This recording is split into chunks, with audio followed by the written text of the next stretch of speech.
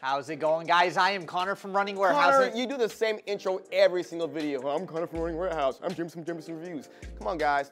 They're here for one reason. Read the title, the best Hoka shoes of 2021. You know, and Hoka's holding it down for all the runners. Whether you're a jogger, an elite jogger, professional runner, they have a shoe for you.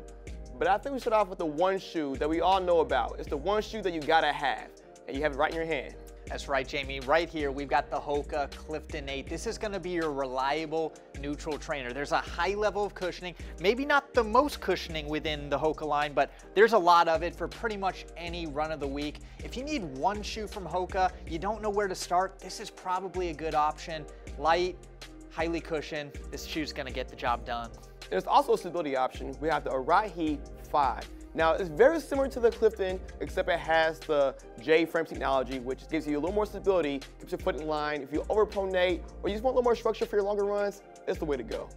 You're right, Jamie. There are two great options, really. The Clifton is going to be for the neutral runners. The Arahi is going to be for your moderate to severe overpronators. Looking side by side, very similar. And again, both of these are going to be very reliable options for any run of the week. But these are just to be your staples but when we want to take it up a notch, really get that true Hoka experience, there's one shoe that comes to mind. Jamie, what do we got? Connor, say less. We got the Hoka Bondi 7. Now this shoe is the ultimate max cushion, max stack height. It is inherently more stable, wider base, more structured upper.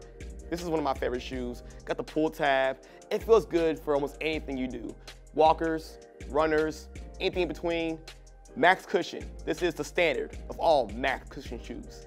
Well, Jamie, Hoka is known for its cushioning and really more importantly, its weight to cushioning ratio. And I've got a shoe right here that really embodies that lightweight, high cushion design, really built for your tempo day, fast enough for daily training. This is your best versatile performance trainer. I've got the Hoka Mach 4. Now, the Mach series has been completely elevated this year. It offers a much more responsive design, a very smooth ride. This has been a great option for me for tempo days, for workouts, anytime I want to pick up the pace, but still have that cushioning. But Jamie, is there another option from the Hoka line that maybe will give the Mach a run for its money?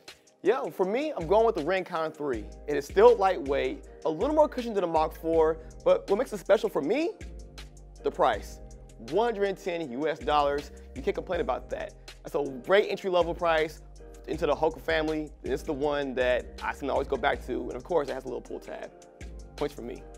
All right, Jamie, we've gone through some of the top Hoka shoes on the road, anything from everyday training, long runs, maybe even workout day. But now we gotta move on over to the trail. My top pick is gonna be the Hoka Speedgoat 4. Year after year, it continues to be my favorite. A high level of cushioning, really that Hoka cushioning we've come to know and love.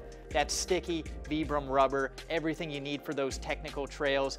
And again, this is just a shoe that feels nimble but there's a lot of cushioning here, so you can go any distance. Jamie, I'm gonna throw it back to you. What's gonna be your top Hoka trail shoe?